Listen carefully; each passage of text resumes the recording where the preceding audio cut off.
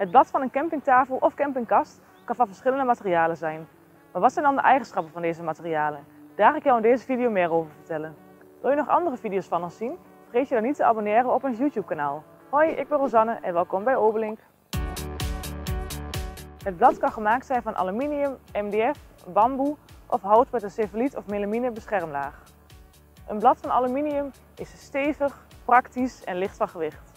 Deze tafel kun je gerust in de regen laten staan, want hij is waterbestendig. Ook koken op deze tafel is geen probleem, want hij is ook hittebestendig.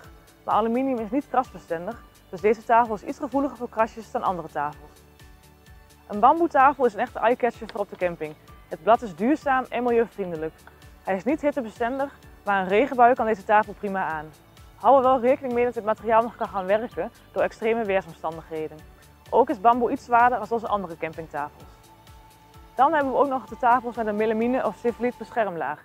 Deze tafels hebben een tussenlaag van hout, maar zijn van boven en onder voorzien van een beschermende laag.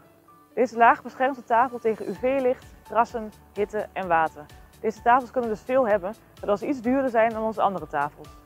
Dan hebben we ook nog de tafels van MDF. Deze zijn licht van gewicht en super voordelig. Maar let goed op, deze ziet er hetzelfde uit als een aluminiumtafel, maar deze is niet water- en hittebestendig. De tafel is wel afgewerkt met een beschermlaag, maar zodra deze laag beschadigd is, kan een regenbui of een omgevallen glas drinken de tafel flink beschadigen. Nou weet je het verschil tussen onze campingtafels. Bij welk materiaal gaat jouw voorkeur uit?